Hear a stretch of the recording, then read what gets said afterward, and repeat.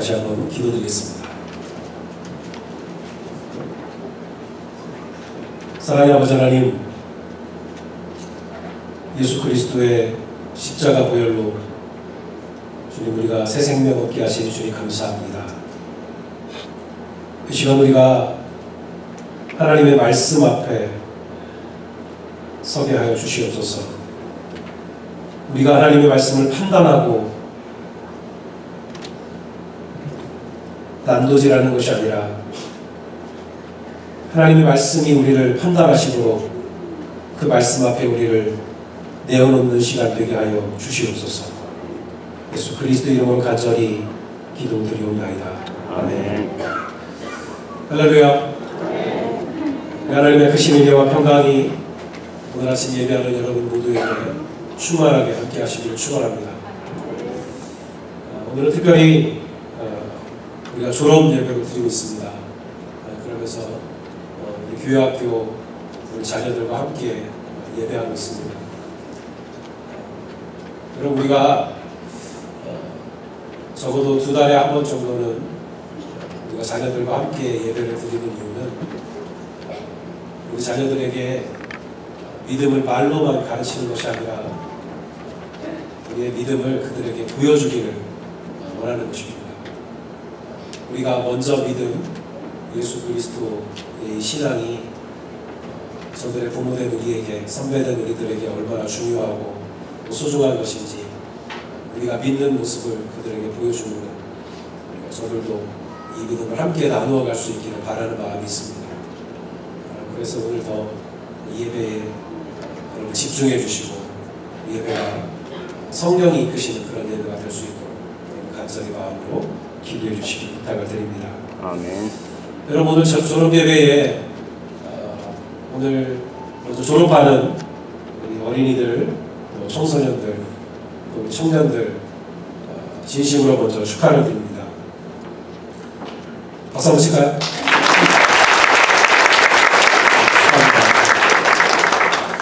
어, 오늘 이때까지 지금까지 함께 해 주신 우리 하나님의 크신 은혜와 사랑과 또 인도하심 또 보호하신 것들이 어, 여러분의 앞길에도 여러분이 이제 앞으로 가는 길에도 늘 같이 하시기를 어, 주님의 이름으로 축복합니다. 어, 졸업이라고 하는 말은 혹은 졸업식이라고 하는 뜻으로 쓰이는 영어 단어가 크게 두 가지가 있는데 하나는 graduation이라는 단어가 있고 또 하나는 졸업식을 뭐- 뭐라고 하는지 혹시 아세요? commencement라고 commencement ceremony 이렇게 말하죠. 졸업식이라고 부릅니다. 어, 먼저 graduation이라고 하는 말은 어, 라틴어에서 나온 겁니다. 라틴어 gradus라고 하는 말에서 나온 건데요. 이 gradus라는 말의 원래 뜻은 스텝, 어떤 단계 혹은 계단 예, 그런 뜻을 가지고 있습니다. 그래서 어, graduation이라고 하는 말은 이 한 어떤 한 단계에서 단계를 마치고 다음 단계로 어, 넘어가는 예, 그런 예식이다, 그런 순서다라고 하는 겁니다. 마치 우리가 첫 번째 계단을 밟고 나서 그 다음에 두 번째 계단을 밟는 것처럼 우리가 한 스텝을 마치고 그 다음 스텝으로 넘어가는 것 그것이 졸업이다, graduation이다 예, 그렇게 말하는 겁니다. 또 한 가지 commencement라고 하는 단어는 주로 북미 지역에서 졸업식이라는 뜻으로 어, 쓰인다고 해요. commencement ceremony라고 그러는데 원래 이 commencement라고 하는 말에는 어, 사실 졸업이라는 말보다는 다른 의미가 있습니다. 원래 commencement라는 단어의 뜻은 beginning, start, 새로운 시작이라고 하는 뜻이 원래 commencement라는 단어에 있다는 거예요. 그러니까 어, 졸업이라고 하는 것은 사실 이 북미에서 이 졸업을 commencement ceremony라고 하는 것은 어, 사실은 졸업식이 아니라 원래 뜻대로 하면 새로운 시작식이라는 거죠. 새로운 시작을 하는 예식이 바로 졸업식이다. 라고 하는 에, 그런 뜻을 가지고 있습니다. 어, 우리 졸업생 중에 우리 kinder를 졸업하는 친구들이 있습니다. 나라 어디 있나요? 나라하고 다현이 어디 있어요? 네, 저기 앉아 있네요. 네. 우리 나라하고 다현이는 이제 어, 그 말대로 한 스텝을 마치고 kinder라는 스텝을 마치고 다음 스텝으로 다음 스텝이 어디죠? elementary 네, 초등학교로 이제 올라가는 거죠. 우리 초등학교를 졸업한 주희 네, 주희 세빈이 네, 저기 네, 저 뒤에 있어요. 주희하고 세빈이는 이제 어디로 가는 거예요? 네, 초등학교 스텝을 마치고 이제는 중학교 middle school 네, 가게 되는 겁니다. 우리 중학교 졸업한 재민이 재민이 없어요. 팀 건이 네, 저스틴 네? 아 신, 신건이죠. 자, 저스틴 아닙니다. 신건이 한국 간 건희 그리고 하늘이 하늘이 하늘이는 이제 중학교를 마치고 네, 중학교를 마치고 심지어는 high school에 간단 말이에요. high school. 그리고 우리 대학교를 졸업한 우리 민지, 어, 민지 저기 있네요. 어, 그리고 예리, 예리. 민지 예리는 이제는 새로운 직장으로 혹은 새로운 학교로 새롭게 출발을 하게 된다는 거죠. 새로운 스타트, 비기닝이라는 거죠. 여러분 이 친구들이 이렇게 다음 단계로 혹은 새롭게 출발할 수 있는 이유가 뭡니까? 지난 단계를 잘 마쳤기 때문이에요. 이걸 잘 마쳤기 때문에 이제는 다음 단계로 나아갈 수 있고 그렇게 새롭게 출발할 수 있게 되는.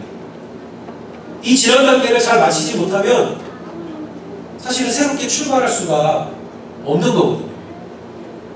그래서 우리가 오늘 이렇게 예배를 통해서 함께 이들의 졸업을 축하하는 이유는 이 친구들이 지난 단계를 잘 마친 것 그리고 그렇게 잘 맞춰서 이제 새롭게 다음 단계로 출발할 수 있게 되었기 때문입니다. 우리 다시 한번 축하해 주시기 바랍니다. 여러분 지난 단계를 마치느라고 수고 많았고 이제 새롭게 출발할 수 있는 것을 여러분 축복하고 축하합니다. 이제 졸업을 할 여러분들은 새롭게 출발할 권리가 오는 거예요. 이제는 예전 스텝으로 돌아가지 않아도 될 자유를 얻은 겁니다. 여러분에게는 자유가 있고 그런 권리가 있는 거예요. 그게 생긴 거예요. 그래서 우리가 축하하는 거죠. 하지만 그래서 오늘 여러분에게 그런 부탁을 드리고 싶습니다. 여러분이 얻게 된 이 권리와 이 자유를 함부로 쓰지 말고 잘 썼으면 좋겠습니다. 그걸 오늘 부탁하고 싶어요. 왜냐하면 여러분이 가진 아니 세상의 모든 권리와 책임에는 항상 뭐가 있어요? 항상 거기에는 책임이라는 게 있어요. responsibility가 있는 거예요. 자기가 선택을 한 그 자유와 권리에 대해서 책임을 질 수 있어야 그게 진정한 자유고 그게 진짜 권리라는 거예요. 책임질 수 없는 그런 자유. 내가 책임지지 못하는 권리는 차라리 차라리 없는 게 더 낫다는 거예요. 그런데 여러분이 초등학교를 졸업하고 중학교 아니 킨더부터 그것을 졸업했다고 하는 것은 여러분이 다닌 학교가 혹은 교회 학교가 여러분들이 이제는 새로운 권리와 책임을 권리와 자유를 책임질 수 있을 만큼 준비됐다 라고 인정하고 여러분에게 그런 자유와 권리를 준 거라는 거예요. 여러분 오늘 성경을 보면 우리는 무엇을 위해서 부심을 받았다고 했습니까? 우리는 자유를 위하여 자유함을 얻도록 부르심을 받았다. 라고 그렇게 말합니다. 우리 나머지 집사님이 조금 전에 읽어주셨는데 벌써 잘 기억이 안 나시죠? 13절에 있어요. 13절에. 우리는 자유를 위하여 부르심을 받았다. 그러나 자유를 받은 너희들은 그 자유를 육체의 기회로 삼지 말라고 했어요.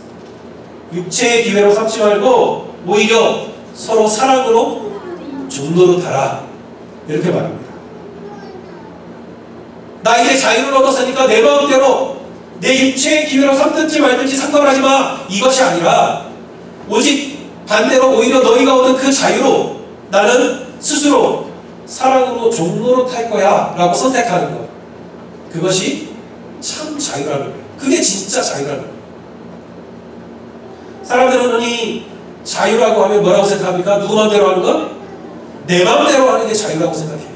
내 마음대로, 내 마음대로 하는 것이 자유라고 생각합니다. 그래서 뭐도 자유라고 생각해요? 나한테 나쁜 것을 선택하는 것도 자유라고 생각해요. 정말 그럴 것 같습니까? 그게 자유 같지만 사실 그건 가짜 자유예요. 자유라는 이름을 가졌지만 전혀 나를 자유롭게 해주지 못하는 거예요. 우리가 속고, 속는 거예요. 가짜예요, 가짜. 나를 해롭게 하는 것을 내가 선택하는 자유를 누리려고 하는 것은 우리에게 자유를 주신 분의 그 의도를 우리가 해치는. 하나님께서 사람들에게 모든 것을 다 자유롭게 해주셨지만 그 자유는 선악과를 따먹어도 되는 자유는 아니었어요.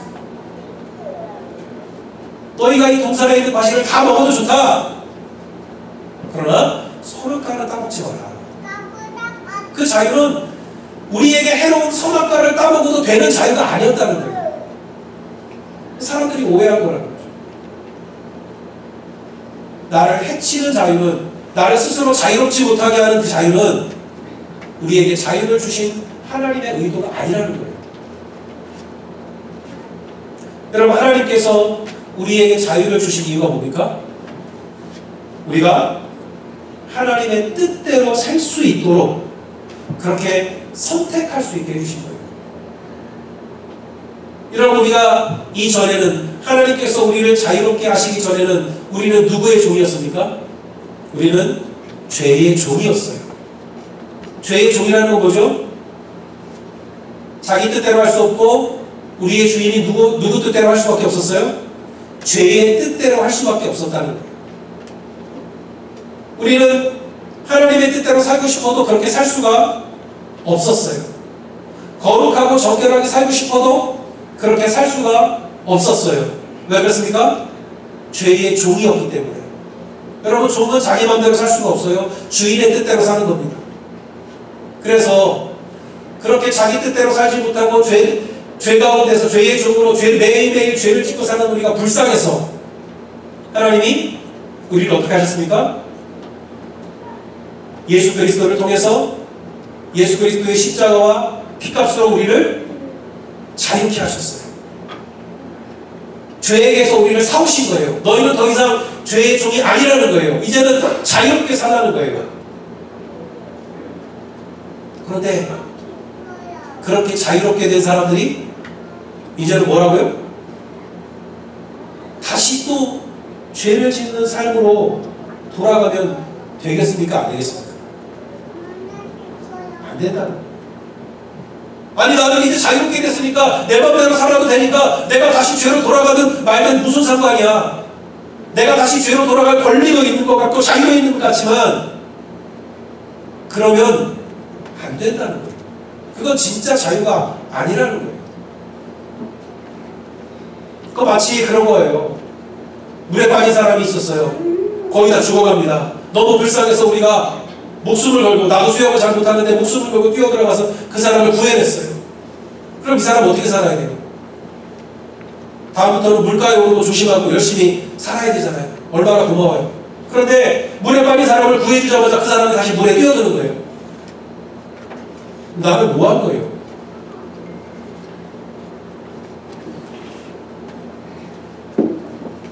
여러분 더구나 우리를 그 물에서 건져주신 분, 죄의 종으로부터 구해주신 그분은 예수님은 우리를 구하시기 위해서 목숨까지 버리셨다는 거예요.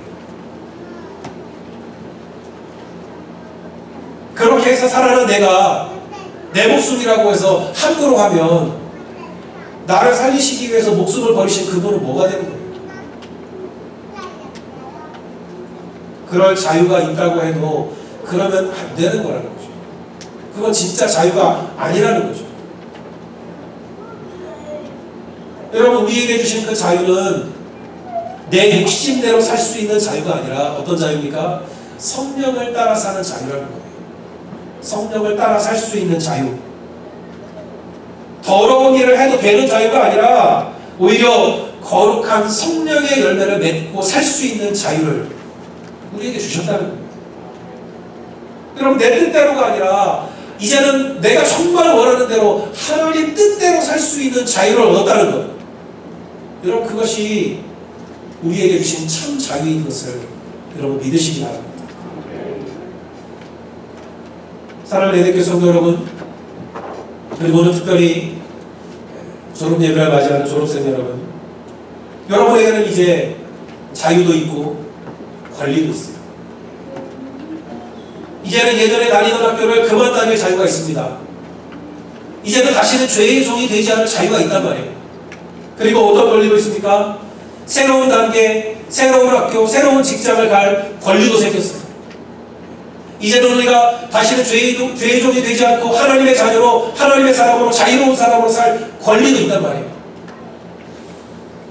하지만 분명히 기억할 것은 우리에게 주어진 이 자유와 권리를 어떻게 사용하는지에 대한 책임도 분명히 있다고 하는 것을 여러분 기억하시기 바랍니다. 책임이 있는 자유가 진짜 자유고요. 책임이 있는 권리가 진짜 권리라고 하는 것을 여러분 믿으시기 바랍니다. 특별히 우리 졸업생 여러분들 앞에 놓인 새로운 스텝, 그죠? 그 새로운 출발에 우리 하나님께서 기뻐하시는 참 자유와 참 권리가 함께 하시기를 주님의 이름으로 축원합니다. 기도하겠습니다. 사랑의 아버지 하나님, 참 감사합니다. 특별히 오늘 졸업하는 사랑하는 우리 자녀들 이전 단계를 잘 마치게 하신 것 고맙습니다. 이제 그들이 걸어나갈 새로운 단계, 또 새로운 출발 앞에 우리 주님의 놀라운 은혜와 사랑으로 인도하심으로 보호하심으로 함께하여 주시옵소서. 예수 그리스도 이름으로 간절히 축복하며 기도드리옵나이다. 아멘.